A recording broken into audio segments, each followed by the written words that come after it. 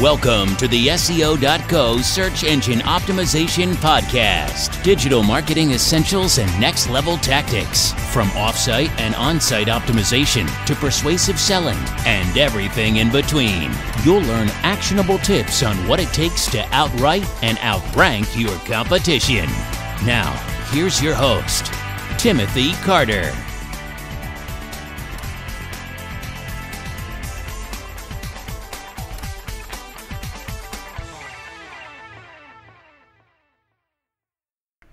Thanks for joining me on the podcast today. We're going to talk about SEO strategies to abandon.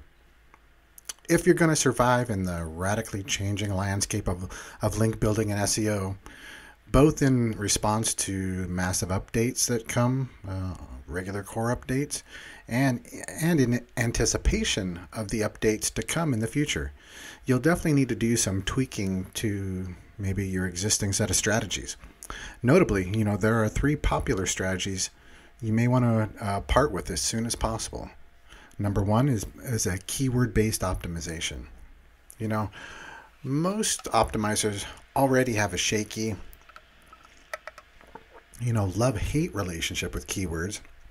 They love it when they can dominate the rank for a given keyword phrase, but they hate the futility of chasing after those high competition phrases. Still, uh, up until the, the last couple of years, you know, most SEOs, you know, believe that their their keywords would always be, you know, one of the most important components of an SEO strategy. After all, you know, you can't perform a search without keywords. And and you can't rank unless you're ranking for a specifically entered phrase, right? Well, you know, in the the trend of that sophistication of, of Google's algorithms, you know, and their core updates, you know, it's always been about providing, you know, the best result? What is the intent that the user is typing into or speaking into the search and asking that question? You know, so that algorithmic process, you know, supersedes, you know, that traditional keyword based approach, you know, that semantic search. You know, back in the older days, you know, you could simply be, you know, a search query could be disassembled into its keywords and, and phrase components in order to, to find those, you know, key components as they are read word for word on the the web, you know. Semantic search offered that more complex and more precise methodo- methodology, you know, for uh, a search result. You know, user queries were analyzed in terms of their intent rather than you know the exact content. So Google's algorithm scours the web, interpreting the function of different websites to find, you know, that's that's the most appropriate results. You know, rather than finding the most mathematically correct one or matching uh, phrase, you know, result.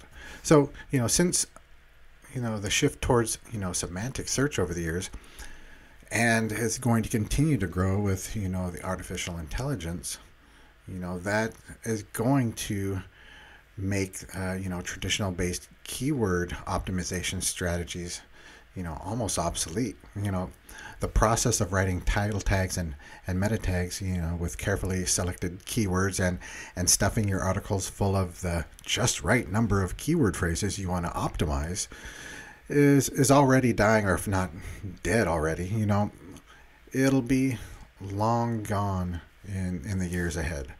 You know, instead of focusing on you know the keyword based phrase optimization strategy, you know, shift your focus to you know keyword research, the topics.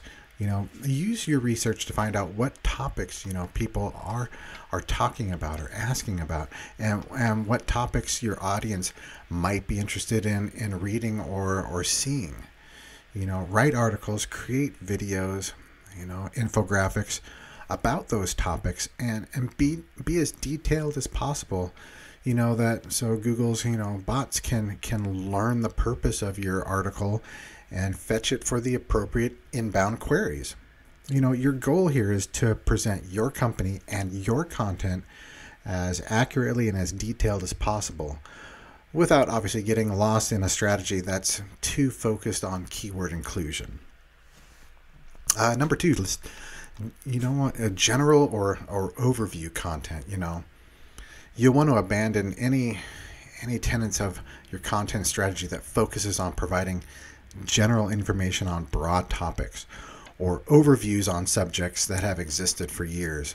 You know, instead, you'll want to focus on niche topics and highly specific topics that people will want to read about or see or hear particularly if you are you know hiring a, a, blog writing service or a video production company or an infographic design company you know and there, there are several reasons for this. You know the first reason is is likely uh, obvious. You know the internet has been around for a long time and people have been writing material on general topics for just as long.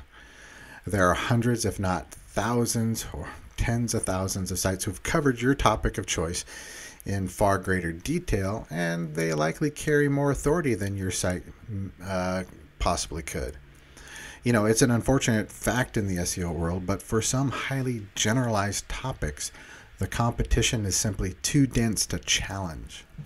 You know, the second reason uh, is attributable to, you know, uh, budding Google product, you know, like the knowledge graph, you know. Um, you know, in an effort to improve the ease and convenience of finding information online, you know, Google, you know, is foregoing that old process of, of performing a search, you know, to find a site that can provide, you know, information in favor of providing that information directly. You know, you know, the company is doing this by providing a, a helpful summary of, of certain broad topics, such as, you know, people, places, and things in a box to the right of the screen for, for certain queries, if you've noticed. You know, that knowledge graph advanced significantly, you know, and expected to continue to be refined for years to come and provide knowledge right there on, on Google's page. You know, and because of this, even if you do somehow manage to rank for a, a generalized topic, you still might get significantly less traffic because users are getting their answers immediately uh, on the on that search result on Google's page. You know, so as a result, your your best bet is to write content that's you know as specialized and focused as possible. You know, such as advanced how-to topics or or focused opinion articles. You know, these types of content will have a, a lower search volume, obviously, but you'll also have a much easier time getting visibility for them and the novel the knowledge graph can't threaten to steal away any of your traffic either because they are lower search results and you get more of those topics and start ranking higher for those phrases you end up uh, getting more traffic than trying to rank for a generalized topic uh, third direct link building stick with me on this. You know, obviously Google still uses external links as a, a major indicator of, of web authority. It's one of the services we offer. And link building itself is still a rev- relevant service to hire. But the process of manually going out solely to build links pointing back to your site is not just outdated, you know, it's, it's potentially dangerous, you know, thanks to, you know, those penguin updates uh, that are, are algorithmically built in, baked into Google's algorithms and can detect that manipulative link building in, in a lot more sophisticated ways than, than ever. And we may be seeing that in uh, future updates as well. You know, so instead of trying to weasel your way into to conversations or systematically meet link quantity quotas on external sites, you know, accept a more natural approach. Your first key is to start generating the types of content that tend to naturally attract hundreds, if not thousands, of links all on their own these pieces like white papers, you know, infographics, and entertaining videos that can virally spread on their own, you know, giving you a bit of upfront work, but automatic benefits as soon as they're syndicated. You know, these these links are all natural and Google can't possibly touch you for getting them. Beyond that, use more natural means of attracting and supplying links to your site. You know, link building should no longer be your main priority in any action. You know, for example, um, you, you can post uh, an external guest blog post uh, with a link pointing back to your site. The main goal here is getting an additional brand exposure and, an authority building, not providing a link. Or you can provide advice to a requester in a forum and provide a link that's genuinely valuable. You know, here your main goal is helping someone out not simply throwing your link into the mix. Opportunities for link building should be circumstantial. You know, any links determined to be built with the sole intention of increasing rank, you know, could earn you a penalty. The fundamental basis of, of quality SEO is still the same as it's always been. The sites that provide the best user experience will always rank towards the top. What constitutes a great user experience and, and what Google is able to analyze are the elements that are always changing.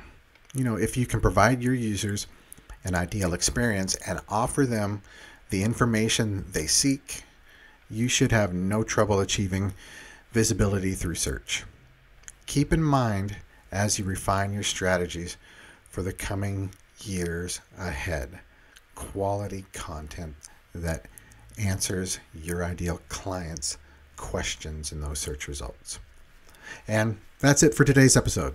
So if you want to improve your, your site's organic visibility, you know, come on over to SEO.co and, and schedule a time to have a free consultation. Learn how we can help you scale your ability to outright and outrank your competition. Thank you for joining us on the SEO.co podcast. We appreciate your time. Be sure to rate, review, and subscribe to the show and visit SEO.co for more resources based on today's topic, as well as access to more podcast episodes to help you improve your site's long term SEO success.